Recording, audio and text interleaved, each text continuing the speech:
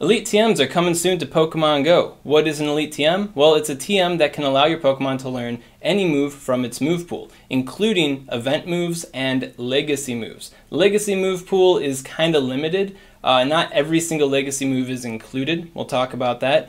Um, but it does seem like many legacy moves are going to be part of the Elite TMs, which is nice. The first implementation of Elite Charge TMs right now appears that it's going to be the Elite Charge TM specifically, is going to be with the Alakazam Community Day. It's going to be part of this box, so you have to buy it.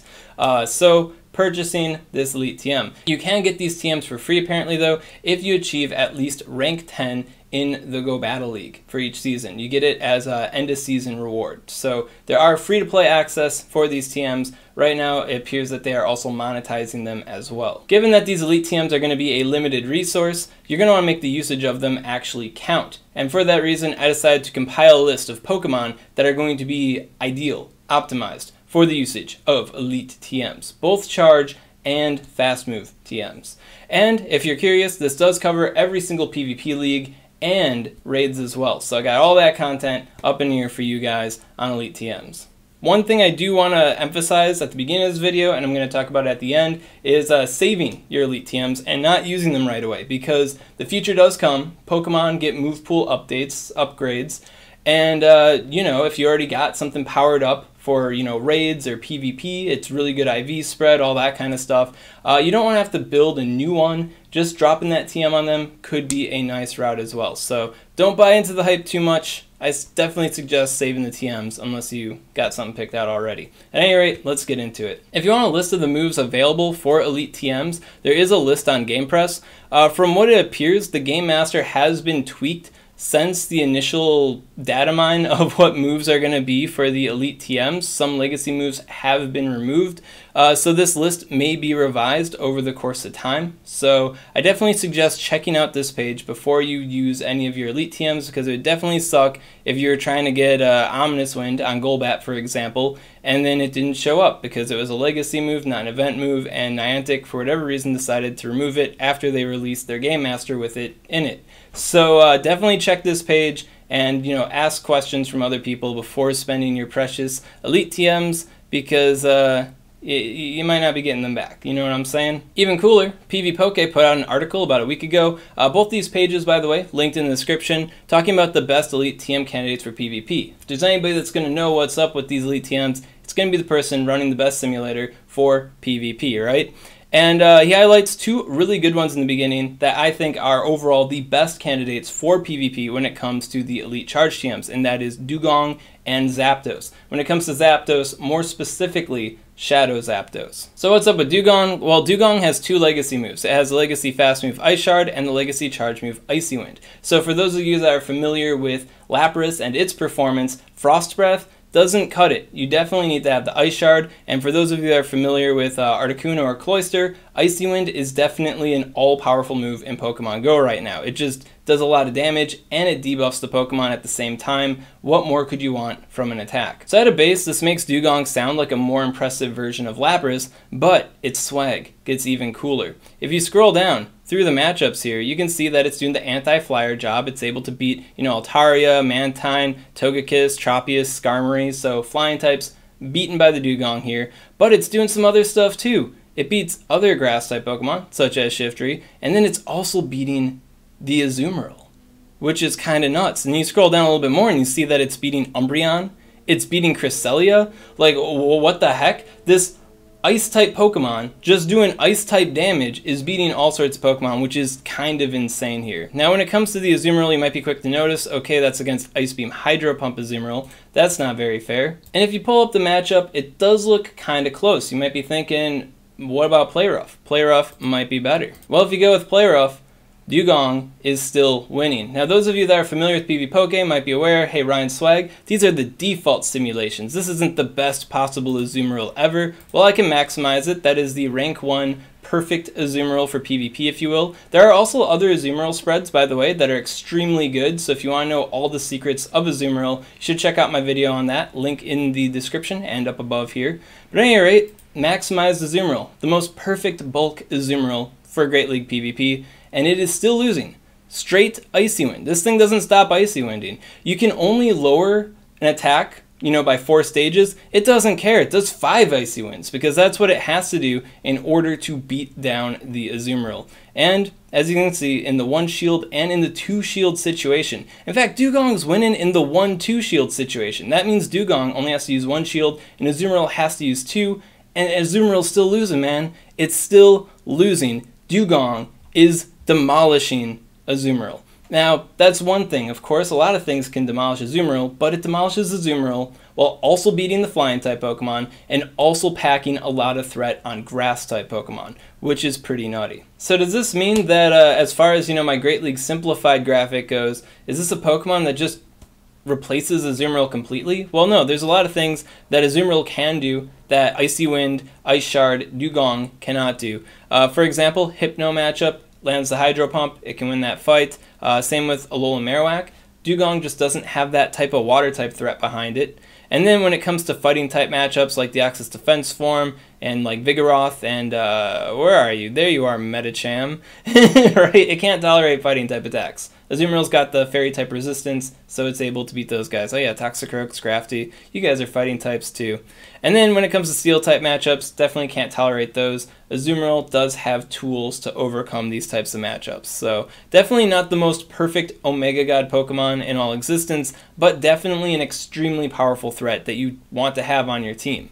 Now, when it comes to I want to remind you guys, you want both the Ice Shard and the Icy Wind. That means you're going to need an Elite Fast TM if you don't already have a Legacy Ice Shard Dewgong. On top of that, it's presumable, you know, we can assume that we're going to get an Elite Fast TM inevitably, right? Right now it just looks like we're getting the Charge TM, but we will get the Fast TM eventually. And uh, I think it'd be better if you were to get a better IV Dewgong instead of just going with whatever legacy one you have. So I'd say for now, hold off, even if you do have the Ice Shard Dewgong, unless it has really good PvP IVs already. If you don't know about PvP IVs, link up above and in the description to my video. Uh, lightly explain it to you guys, helping you understand what that is and resources to help you identify good PvP IVs. Um, so yeah, so yeah, hold out for the better seal, evolve into Dewgong, and uh, when the time is right, you have both of the uh, TMs together, then I'd say go for it. Of course, there are other Pokemon that could steal your fancy as well. For example, we have Great League Thundershock Zapdos. Thundershock Zapdos was an event move. No Zapdos could be small enough to get into the Great League with Thundershock. Now we have that option. And if you check it out, it is a pretty interesting flying type Pokemon. It's got the Drill Peck, so it's able to handle grass types, and then it has the electric type threat, allowing it to threaten water type Pokemon, which is pretty nice. However, that electric type threat definitely isn't enough to move the Azumarill, which is a pretty big L. So overall, I'd say if we do get an Elite Fast TM, going for a Zapdos in the Great League might not be the best idea. What could be a better idea is going with the Shadow. Shadow Zapdos is kind of insane because it can beat a Azumarill here with that Thundershock, which is pretty nice. So basically what was happening before was Zapdos's Thundershock and Thunderbolt damage wasn't enough to KO Azumarill. It would get pretty close, but you know, at the end of the day, no potato. Thing throws an ice beam, you're dead, right?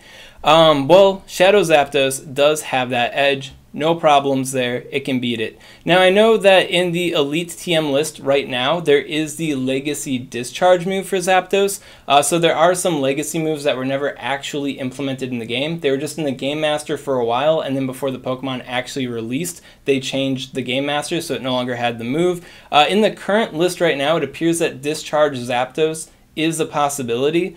Um, but they might remove it because it wasn't actually implemented in the game. And as I told you, some legacy moves have been removed from the list uh, before I made this video, and some are probably being removed right now. So before you spend any DMs, please check the GamePress list, make sure it's updated uh, so you're aware that you're not just whiffing an Elite TM, because that would suck, right? At any rate, Discharge Zapdos, is that going to be an upgrade for it? Well, no, not exactly. Not even for the non-Shadow version either. And the reason why is because it just doesn't do enough damage. The critical thing that Zapdos needs to be doing for it to really be relevant in the Great League with the Thundershock Legacy move is uh, KOing Azumarill. And Discharge just isn't enough damage. And then when you go to the basic version, you know, Thunderbolt, isn't enough damage, so obviously Discharge won't be enough damage. When you get to the Shadow one, Shadow Thunderbolt is enough damage, but Shadow Discharge, it's not enough damage. So it all comes down to your ability to KO a Azumarill, more or less. It can also do other things too, mind you,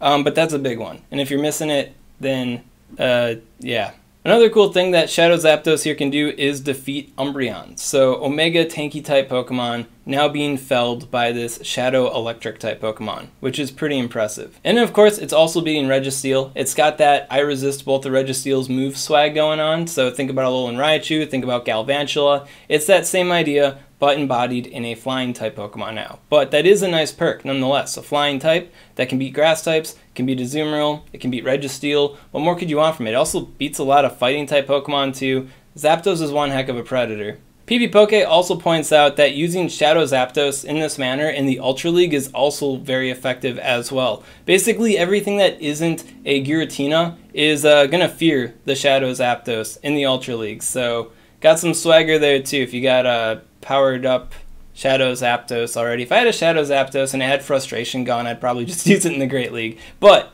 it could be very threatening in the Ultra League as well. Then bumping up to the Master League here, we do have the Psystrike Shadow Ball Mewtwo, which is an option. Now, if you've watched my uh, Master League Simplified video, you already know I'm not a big fan of Mewtwo in the Master League to begin with. I think it's a very good Pokemon, but I feel like it has a really high skill cap, and as we know with like various glitches and stuff like that in the game, and the roulette nature of PvP to begin with in the Go Battle League, I just feel like using Mewtwo is just too inconsistent for my tastes and too inconsistent for me to promote to people. That said, if you are a Mewtwo enthusiast and you have been getting a lot of wins in the Master League with Mewtwo, uh, well, yeah, having both Psystrike and Shadow Ball opens up some more unique possibilities for you. You do close some doors in the process as well. If you had the Ice Beam, you'd have a more consistent time against like Dragonite and uh, Garchomp there. And if you had the Flamethrower, you'd probably have a better time against Melmetal and I guess a little bit Metagross too. Shadow Ball hits it for effectiveness as well, so kind of a horse apiece there. Um, but what I'm trying to say is, is you don't need to have both Psystrike and Shadow Ball from Mewtwo to be good. You're losing some matchups with that combination. Uh, so if you have been using Mewtwo in the Master League and you've been losing pretty often with it, it's not really helping you out, and you're sitting at home thinking, man, if I just had both Psystrike and Shadow Ball on Mewtwo at the same time, then my losses would become wins. I, I hate to break it to you, man but uh, Mewtwo's just not working out for you. But if you are somebody that does understand Mewtwo for the Master League really well, you've been getting good utility out of it, and you feel like this combo will open some new doors for you, then by all means, go for it. I'm not going to stop you. But it's definitely nothing I can promote at face value for uh, Mewtwo there. And then for the rest of PvP, there are a lot of other candidates that could maybe work out, but aren't my first picks. First one that comes to mind is the Wing Attack Charizard. I know a lot of people love that idea, Wing Attack plus Blast Burn, Wait, Legacy Wing Attack, mind you, and Legacy Blast Burn. Uh, community attack. But when it comes to the Great League, Charizard's not good. It's just not. I, I can't recommend you use it. And uh, Wing Attack isn't going to change that at all. And then when it comes to the Ultra League, where Charizard is actually good, Fire Spin is more important for Charizard to get its KOs. So it's like, I don't really see Wing Attack Charizard happening. The only people that really care about Wing Attack Charizard are people that are involved in the Silph Arena. And if you're involved in the Silph Arena, then there is definitely an insane list of Pokemon that could be really good with a various uh, elite TMs involved. Wing Attack, Blast Burn Charizard definitely being one of them. So other such unique, interesting, might be cool in a cup Pokemon to think about. Uh, there is Icy Wind Seaking. We also got Dragon Pulse Lapras. We got Rock Slide Omastar and Fury Cutter Kabutops. Both of them could come in a shadow flavor as well. Then of course there's also Draco Meteor Dragonite, which could actually be pretty cool in Master League as well. I still feel in Master League Outrage and Draco Meteor and Dragonite have roughly the same kind of performance. Right now I'm using Dragonites in the Master League, and I'm using Outrage. And I've never had a matchup where I've really wanted that Outrage to be Draco Meteor to win it. You know what I mean? There's definitely been a lot of matches where I wish Dragonite was Dialga, but but that's a that's a whole nother issue. No no TM's gonna save me there, right? And then of course there's any of the starters that you have good IVs for, you know, like Frenzy Plant Venusaur or Meganium or uh, Hydro Cannon on a Swampert for Ultra League, for example. Those are also options, um, but I think you can trade for those pretty easily. And then, of course, in December, we always get to, you know, evolve those moves again. So I don't think it's the highest priority in the universe, but hey, it might be something that you're into. Now, if there's any other cool uses for the Elite TMs that I've missed for PvP, you can definitely comment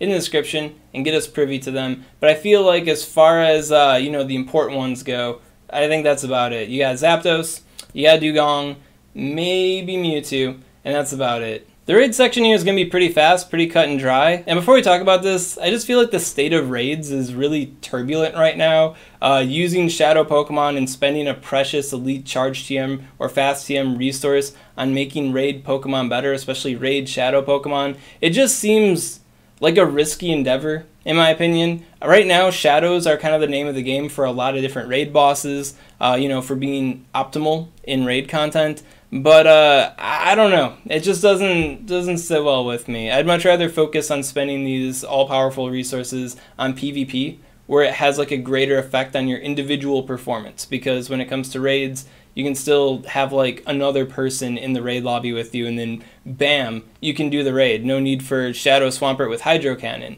That said, it definitely pays to know what these Pokemon are, just just in case, just in case you are more about that. So for water type Pokemon, bam, Hydro Cannon, Shadow Swampert, annihilating. Grass types, you have Shadow Venusaur, and if you happen to like Shadow Torterra a bit better, uh, the difference between them isn't that large. Venusaur a bit better, but Shadow Torterra is still there uh, just behind it. When it comes to fire, uh, Shadow Moltres is still on top, but the difference between it and Shadow Charizard isn't that much. So if you already maxed out a Shadow Charizard and you're just like, I love using Shadow Charizard so much, well, hey, now you can give it Blast Burn, it's going to be that much better. And don't think Shadow Moltres' swag ends there. As a flying type Pokemon with the Legacy Sky Attack, so this is a, uh, you know, Elite TM move right there, uh, it definitely soars ahead of every single flying type in existence. It's just way ahead of its former self which is which was on top before, but now the Shadow Self is definitely on top. And I think it's going to be an insane long time before anything can get on Shadow Moltres' level as far as being a flying type raid attacker goes. Now, how relevant is flying type damage in raids?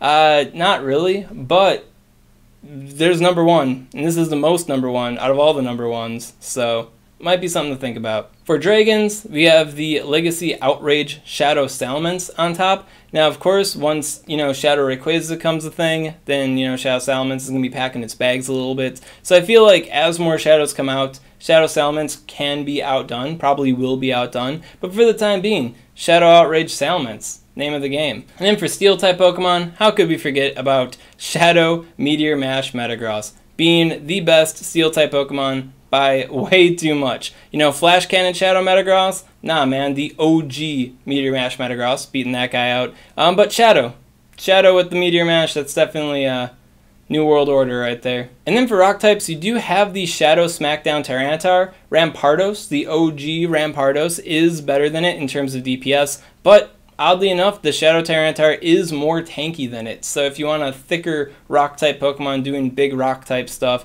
well, Shadow Tyranitar is an option there. But of course, Rampardos is better. You don't have to use a Super Legacy Omega Elite. That's the word. You don't have to use an Elite TM to get Rampardos up to snuff. And then, of course, there could be a Shadow Rampardos or a Shadow Rhyperior or something like that in the future, making Shadow Tyranitar look a little bit smaller. So and that's basically it for raids. There might be a type I overlooked, but I kind of doubt it as far as uh, elite TMs are concerned. Of course, there's other Shadow Pokemon that dominate, like, you know, Shadow Electivire on top of Electrics, and then Shadow Gardevoir on top of Fairy types, but you don't need an elite TM for those guys. And there you have it, the most optimal Pokemon to use elite TMs on. Now, of course, this is the list right now, but the future is coming. We have more event moves that could pop up, we got more legacy moves that can pop up, and if you already evolved the Pokemon, getting these new event attacks, well, they can't get them outside of these elite TMs. So I think it could be in your best interest if you don't already have like a super optimal pick and you're like, yes, this one, and it's going to be so powerful. My Shadow Zapdos will be unmatched. You know, unless you got that going on, I think it'd be best to hoard onto these resources until something even hotter comes along or something that's more specific to your needs. For example, Roar Time Dialga. You already maxed out a Dialga. Do you want to max out another Dialga because Roar Time Dialga comes out and now it's better than your Dialga? Bam! Elite Charge TM. You don't even have to think about it now. Precipice Blades Groudon could also be big in the Master League as well. And then it doesn't it's not just Master League Pokemon with signature moves either. There's also the Community Day attacks and uh, the possibility of double Community Day attacks. When it comes to those Community Day votes, I know that Blastoise was floated as a possible voting option for that. So what if Hydro Cannon and the new Community Day attack that Blastoise have, that combination is the most optimal Blastoise moveset for PvP, and all of a sudden it's insane. It beats Azumarill, it beats Grass, it beats Registeel, it beats your mom. Um, that might be too dark. Uh, yeah, then you're gonna want that. So what I'm saying is, Dewgong, Zapdos, Mewtwo, they look cool. You want to TM them right away, I bet. But saving that limited resource might be cooler down the line. Anyway, that covers it. If you got any questions on this content, comment below. Let me know what's up, and I'll be happy to help you out. And if you enjoyed this content and you want to see more like it, well, make sure to subscribe to Swag Tips. Swag tips. I'd also like to give a special shout out to these Patreon supporters. If you want to support the Swagman on Patreon, I got a link in the description for that.